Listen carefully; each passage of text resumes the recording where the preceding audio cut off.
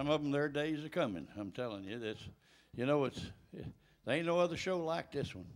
That's right. Not like this one. That's right. I, I had the pleasure of doing the Opry back in the '60s and early '70s, and it was fun to do. But this show, more fun because they let you do more on it.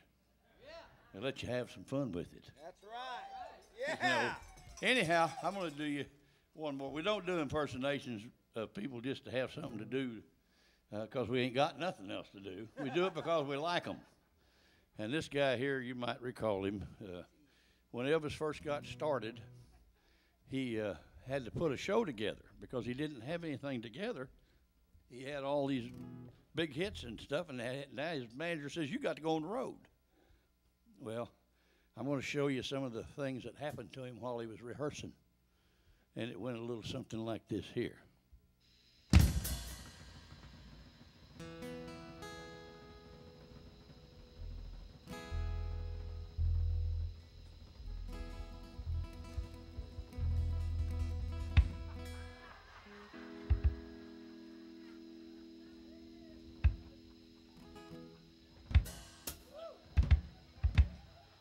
President Neighbor, I want to do my biggest record for you. I ain't no bigger than the rest of them. They're all the same size. But well, this is my biggest record. Behind you. It's strapped to your back. Turn around. It's there you go.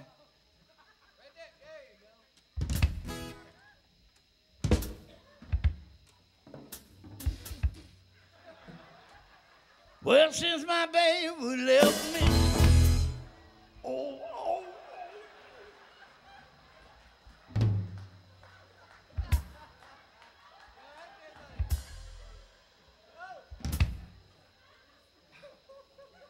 Watch yourself.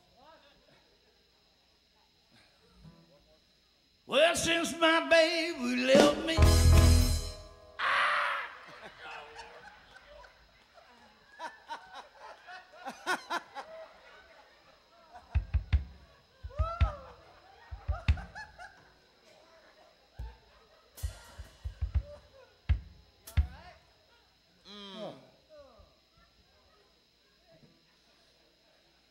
since my baby left me, down at the end of Lord.